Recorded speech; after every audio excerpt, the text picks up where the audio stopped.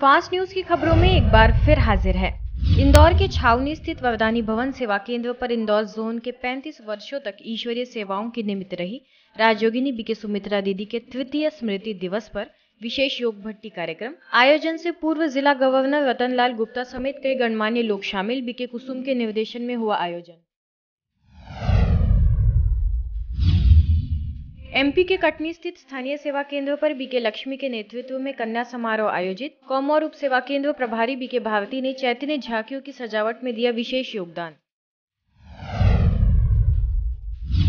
Mount Abu international ham radio club के तत्वाधान में राजस्थान के डूंगरपुर सेवा केंद्र पर उपभोक्ता जागरूकता कार्यक्रम। क्लब मेंबर बीके रमेश ने दामरी राजकीय बालिका उच्च माध्यमिक विद्यालय के विद्यार्थियों एवं स्टाफ को सोशल मीडिया से होने वाले लाभ और हानि की दी जानकारी।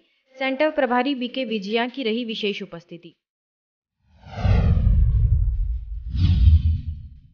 दिल्ली के इंद्रपुरी सेवा केंद्र पर बीके बाला के नेतृत्व में नगर वासियों की आत्म शक्तियों को जागृत करने के उद्देश्य से कार्यक्रम। नगर पार्षद ज्योति गौतम ने संस्था से जुड़ने का लोगों से किया आह्वान। जिनको जानकारी नहीं है तो मैं तो कहूँगी आप उनको भी यहाँ भेजें, मन की शांति के लिए, अच्छे स्वास्थ्य के लिए, सकारात्मक विचार के लिए।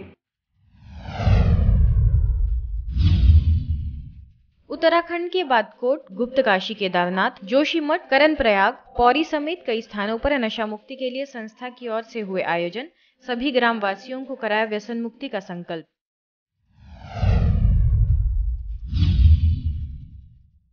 रामनवमी के पावन दिन पर जम्मू स्थित ओम शांति मेडिटेशन सेंटर द्वारा भव्य शोभा यात्रा आयोजित। नगरवासियों को पर्व का आध्यात्मिक रहस्य बताना रहा कार्यक्रम का मुख्य उद्देश्य।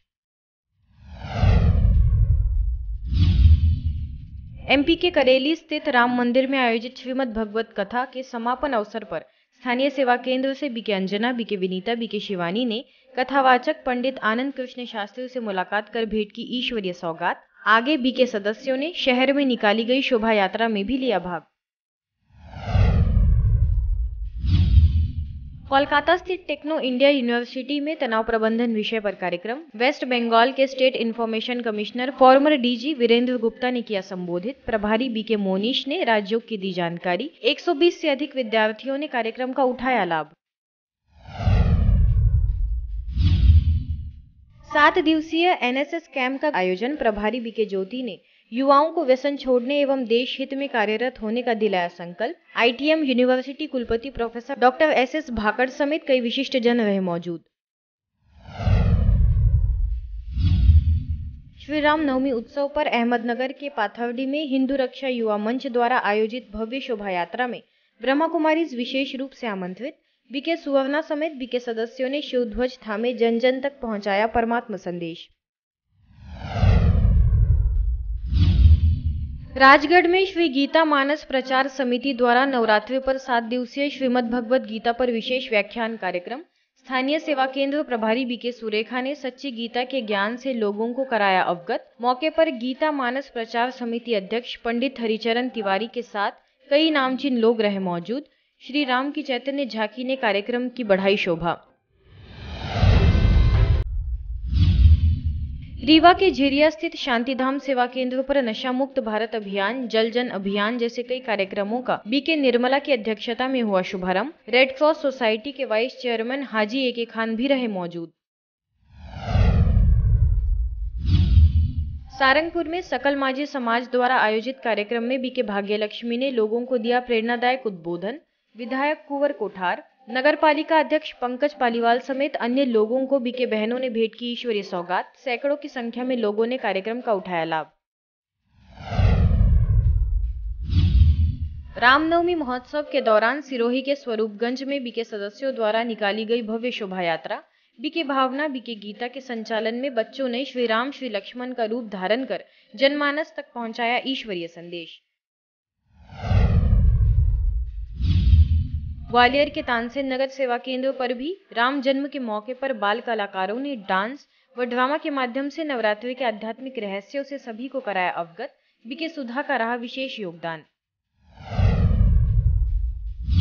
कोयल नगर सेवा केंद्र द्वारा कलिंगा विहार स्थित आशादीप स्पेशल स्कूल की दो शाखाओं में विद्यार्थियों के लिए कार्यक्रम। बीके राजीव ने पढ़ाया नैतिक मूल्यों का पाठ।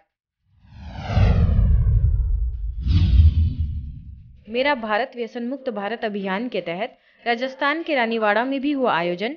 विशेष पुलिस अधिकारियों और वेद पब्लिक स्कूल में बच्चों को सकारात्मक चिंतन की बीके राजीव ने बताई विधि।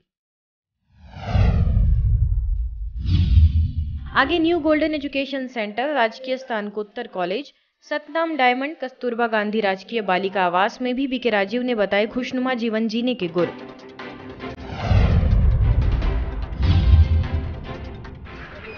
करने में अगर मज़ा आता है तो नींद आती है क्या उस समय? तो चाय की ज़रूरत है क्या? तो चाय की क्यों ज़रूरत पड़ रही है? क्योंकि आपको पढ़ने में मज़ा नहीं आ रहा। इसीलिए चाय की ज़रूरत